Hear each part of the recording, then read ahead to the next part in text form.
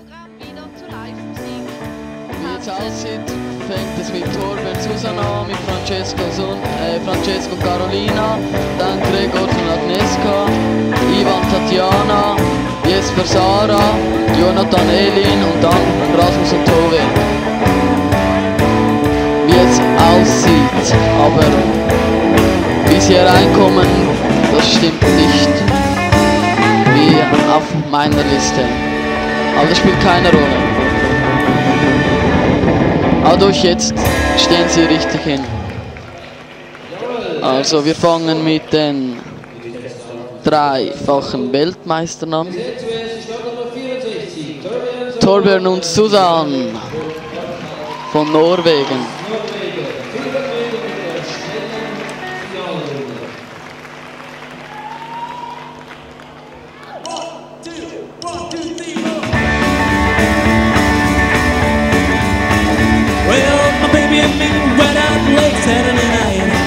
Sehr schön zu sehen.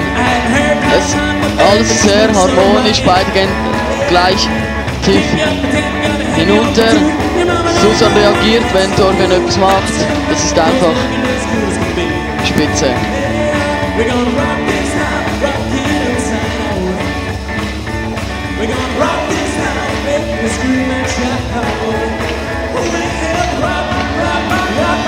Und auch diese Figur ist einfach genial. Und es geht weiter. Die Schrittfolgung ist einfach genial. Es ist alles eins, eins zu eins bei ihm. Also abgestimmt. Und auch wieder die Luftgitarre bei ihr. Genau. Also die Interpretation bei ihnen ist eigentlich, ja, kann man nichts dazu sagen. Auch diese Figur jetzt. Und es geht gleich weiter. Die Figur hat ihnen in der Vorrunde noch Mühe bereitet, noch einen kleinen Ja. Fehler eingehandelt und jetzt ist sie aber ohne Probleme vonstatten gegangen. Auch sie hinten wissen, dass es eine sehr gute Runde ist.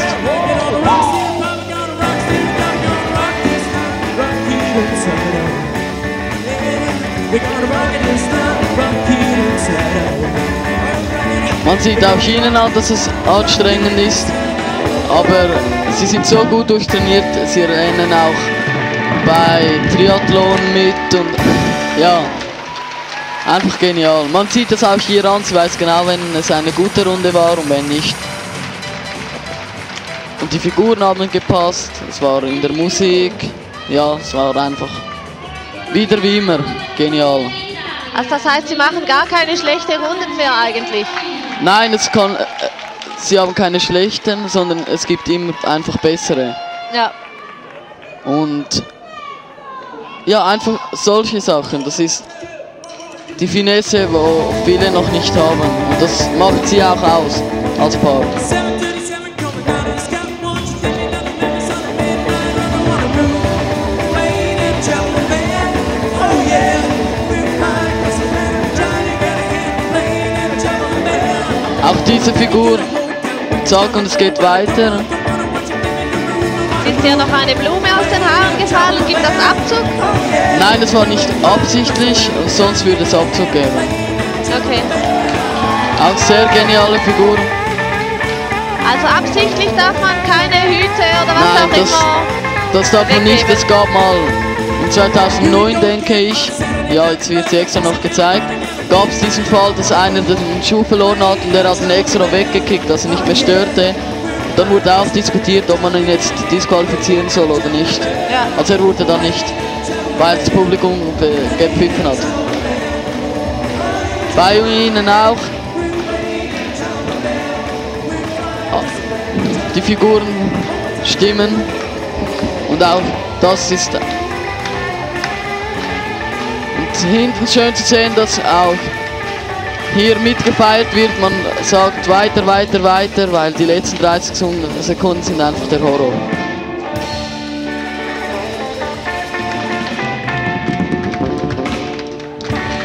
Und auch sie, bei ihnen sieht man, es ist für sie ein gelungener Tanz gewesen. Schön bei den Boogie-Finals immer zu sehen, dass die Paare alle hinten dran stehen und die Paare sich gegenseitig unterstützen. Es hat es aber auch schon leider gegeben, dass ähm, die Paare nicht hinten stehen durften. Aber da merkt, wurde gran- gerade klar, dass es einfach nicht geht. Es braucht die anderen Tänzer hinten. Ja. Jetzt geht es weiter mit Gregors und Agnieszka.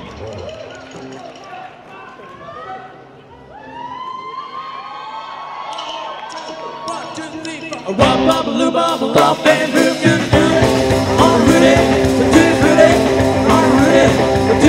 er macht, ist eine sehr gute Interpretation. Und diesen Stopp muss er so genial machen wie jetzt. Wow, ja. Auch ein Lied, das alle kennen. Geht man Ja. mit, klar.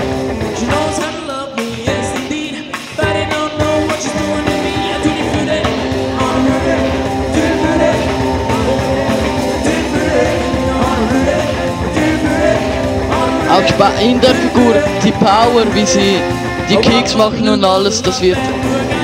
Und auch solche Bewegungen, es wird einst angeschaut. Und das kann sicher einen Rang ausmachen. Aber man merkt einfach, der, die Schritte, der Grundschritt ist nicht mehr so wie in den ersten 20 Sekunden.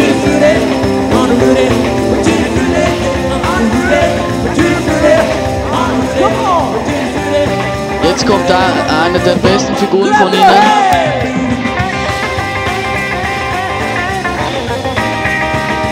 Und hinten wird immer mehr angefeuert, wenn man merkt, man mag nicht mehr. Oder dass ein sehr langer Instrumentalteil kommt, weil der ist mühsam zum Interpretieren. Aber die zwei machen das sehr gut.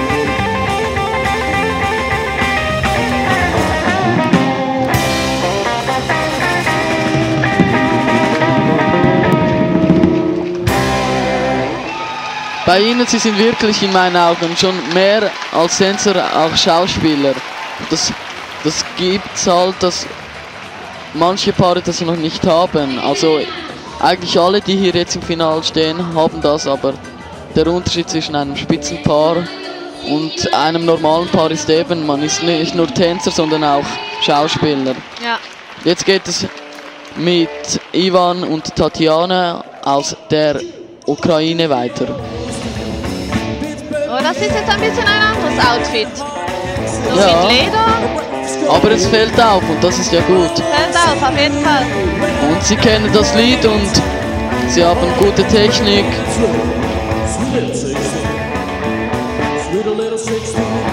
Gut interpretiert.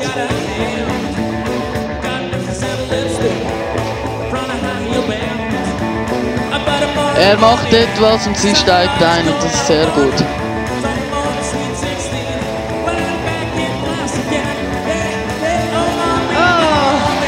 Somebody stop, just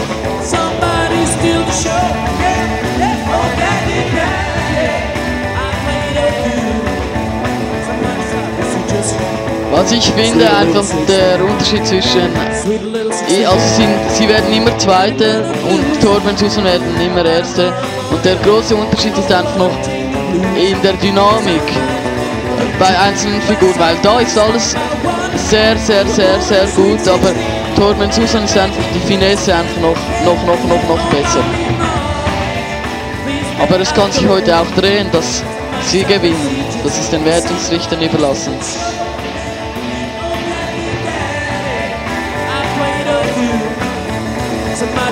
Die Figur passt sehr schön zur Musik. Und da hat sie sich noch gerettet. Sie suchte ja. die Hand von ihm und hat etwas draus gemacht. Eine sehr gute Runde.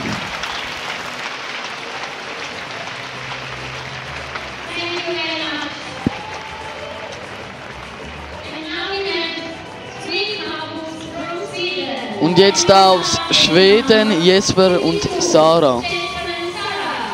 Ja. Auch ein Merkmal bei ihm ist sein Cap. Er hat immer das Cap an. ah ja. Ja. Und auch dieser Song, der kennt einfach jeder. Da muss ich mich zusammenreißen, dass ich nicht mitsinge. Mach doch Jan.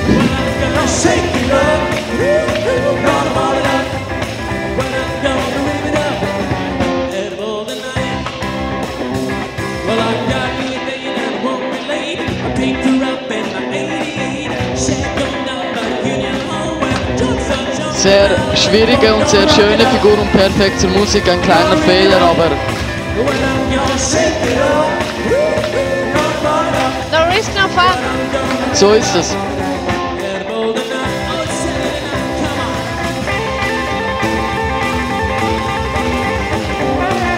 Und was ihn zu den Besten noch, was der Unterschied ist zwischen ihm und den Besten, ist einfach noch die Technik. Das ist noch eine, eine klare Angelegenheit für die Norweger, dass die Technik einfach besser ist. Und hier kommt wieder seine geniale Figur.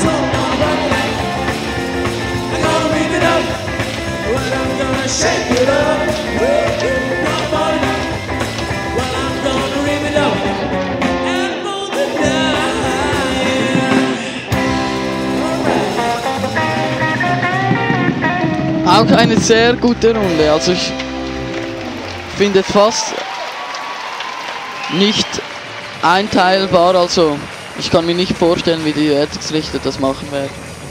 Ich finde es schwierig. Und jetzt nochmal aus Schweden, Jonathan und Elin.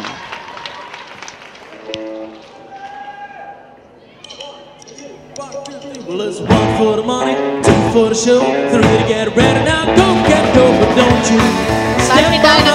Einstieg, den man Genau. kennt. All Gut war, dass sie als erstes reagiert hat. Dann weiß man auch, dass sie mitmacht und nicht einfach sich führen lässt von ihm. Ja.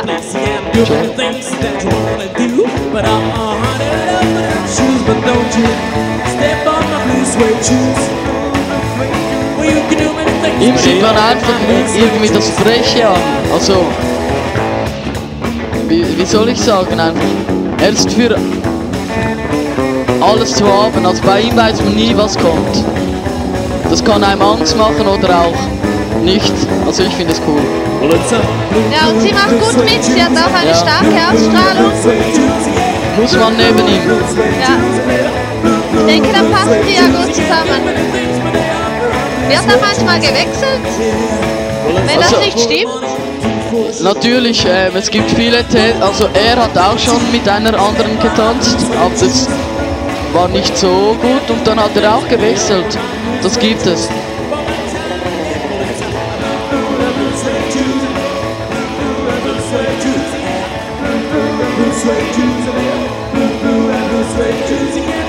Und mal schauen, ob es die Schweden schaffen, den Titel zu holen, weil in den letzten drei Jahren war es immer Torben Susan in Norwegen. Bei allen Turnieren. Bei jedem, wo sie anwesend waren. Ja. Ja, schauen wir mal.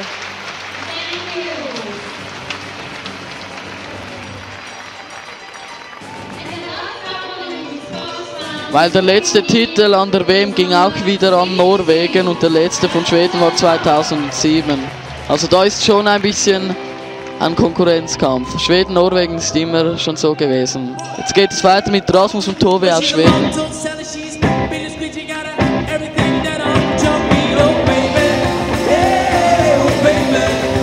Die Songs, die gespielt werden, sind eigentlich ganz einfach zu interpretieren. Also da können sich die Tänzer glücklich schätzen. Da gibt es Songs, die so hart sind zum Interpretieren. Also deshalb gibt es auch gute Runden. Also wie soll ich sagen? Es gibt keine schlechte Runde heute im Moment. Ja, Sport an. Sehr gut in der Drehung hat noch etwas gemacht.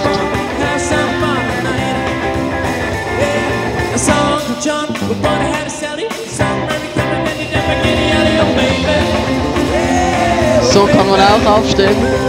Aha. Die zwei gefallen mir gut. So viele überraschende Momente, Genau. schnelle Bewegungen. Technisch sind sie nicht die Besten, das ist ganz klar, aber ich finde die Figuren von ihnen sehr cool.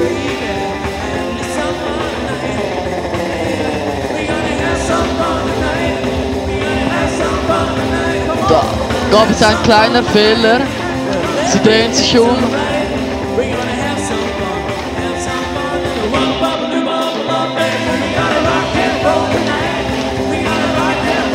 Er animiert sie dazu, mehr mitzumachen.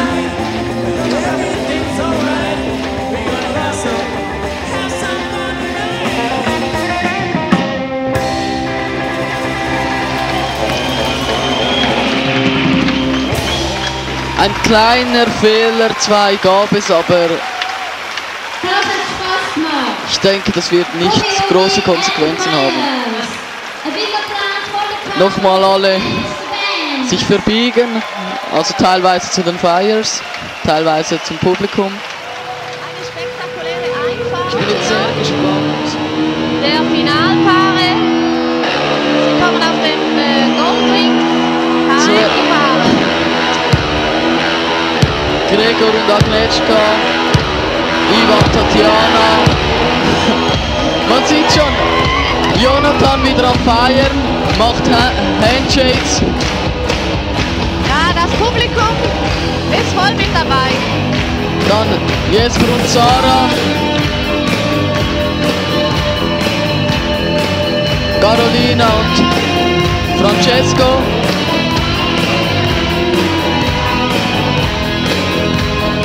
Tove und Rasmus. Last but not least, Torben und Susanne.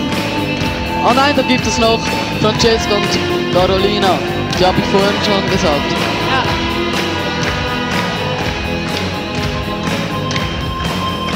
Das ist mir auch neu. Ich denke, das hat noch keiner der Finalisten gemacht.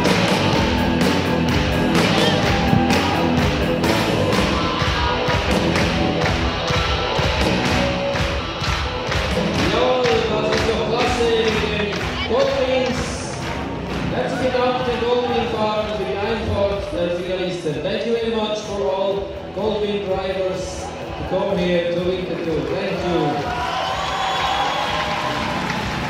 And your plan is finished, dear couples. You can go out.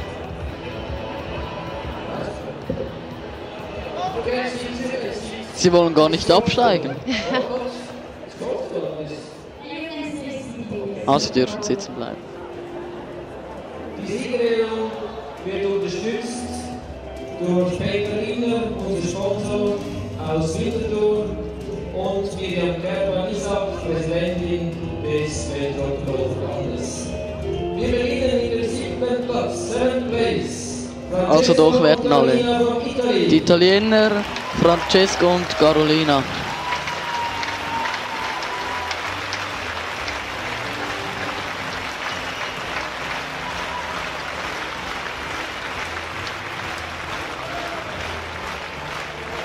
Äh, von der sixth place. Auf dem sechsten Platz sind Jesper und Sarah von Schweden.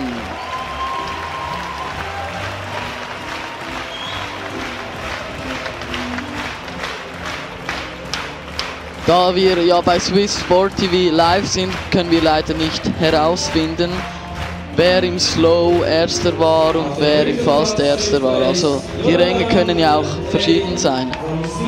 Und Jonathan und Elin sind Fünfter, auch aus Schweden.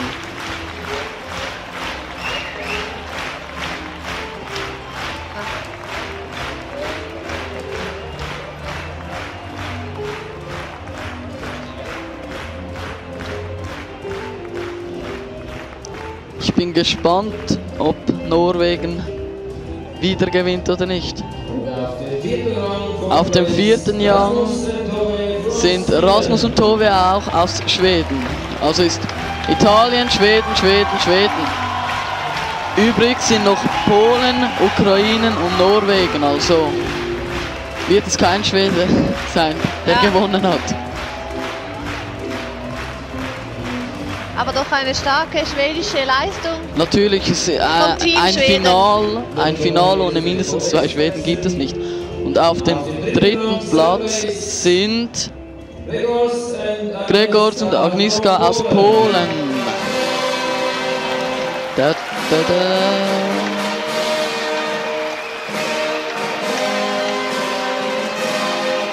Werden die Runden beide gleich gewertet? Also die gleichen, also nicht genau die gleichen, wohl die gleichen Kriterien, aber man schaut es ein, einfach ein bisschen anders an. Also man kann nicht die Schritte so kräftig machen wie im Fast. Also und auf dem zweiten sind Ivan und Tatjana von Ukraine, von der Ukraine. Also übrig auf diesen Gefährten auf diesem TÜV sind nur noch die Norweger. Ja, sie holen sich auch heute wieder, Wieder den den. Titel. Jawohl. Ich kann jetzt auch gut verstehen, dass sie gewonnen haben, ganz ehrlich Natürlich. gesagt. Ja, Beide Runden waren perfekt. Schade, dass man die Reaktion von den zwei nicht noch hat. Und auf dem ersten Platz, First Place, from Norway. Torbjörn Solvo und Susanne Barkalt aus Norwegen. Sie genießen, genießen die Aufmerksamkeit des Publikums. Das Publikum ist auch zufrieden mit diesem Rang Ja, wir sehen sie hier nochmal in der Slow Motion vom Slow. vom Slow und der spektakulären Figur wie eine Schlange. Ja, das hat mir sehr gut gefallen, die Figur. Hier. Ja. Und dann wie er noch Rock macht, das war einfach Gleich nochmal.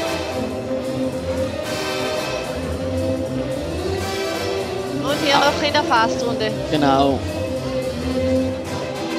Einfach genial. Spagat und weiter. Und auch diese Figur einfach. Hops, weiter. Sie sind schon auf dem ersten Platz angelangt, bekommen jetzt den Riesenpokal.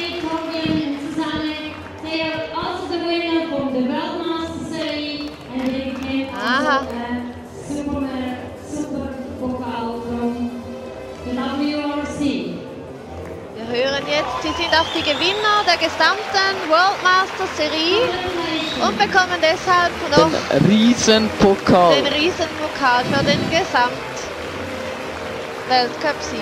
Für alles, auch verständlich. Und das löst Emotionen aus. Schon so viel gewonnen und doch immer noch berührt. Das, das gefällt mir bei Ja. Ihnen. Ja, schön.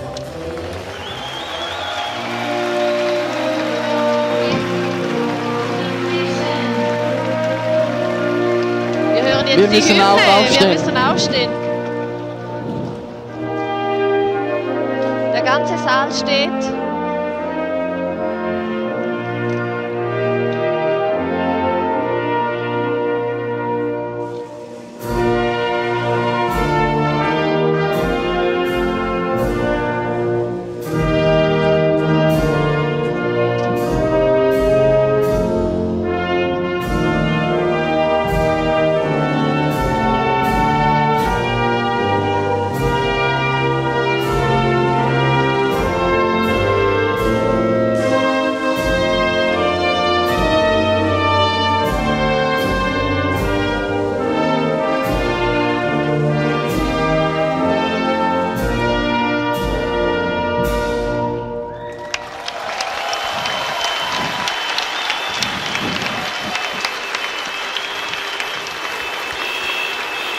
Sie haben alle schon gewonnen und trotzdem ist es jetzt mal wieder etwas Spezielles.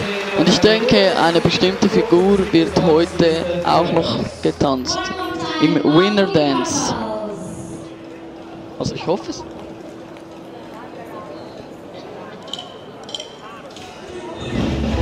So sieht's aus.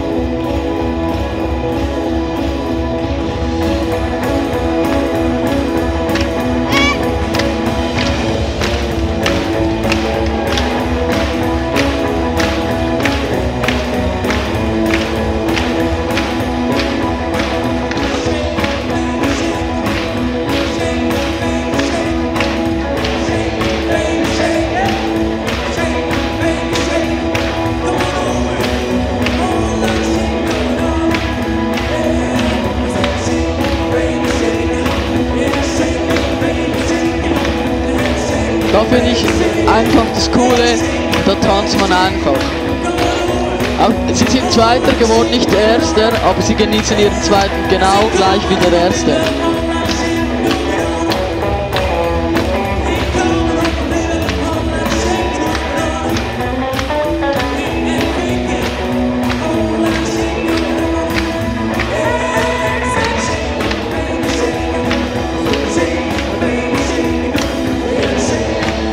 Werden auch ab und zu Figuren gezeigt, die zu riskant sind, weil sie schief gehen können. Vielleicht haben wir das Glück und sie machen so etwas. Ich denke, sie werden eine machen, die sie normalerweise immer machen, aber heute leider nicht gemacht haben.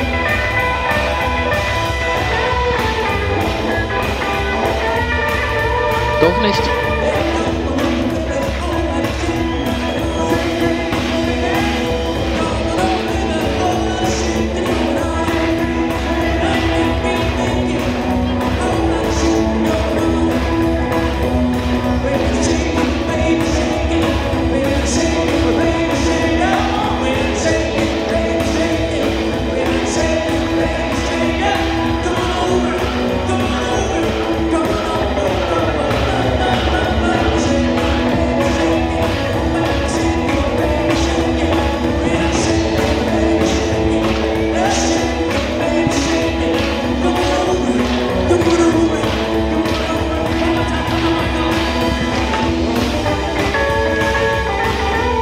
Das finde ich auch das Coole beim Winner Dance, weil er auch so genannt wird, weil alle tanzen, die auf der Bühne im Moment stehen, als sind alles, alle auch Gewinner. Und jetzt wird getauscht, also Torbjörn ist zu der Schwedin Tove gegangen, jetzt wird einfach getanzt.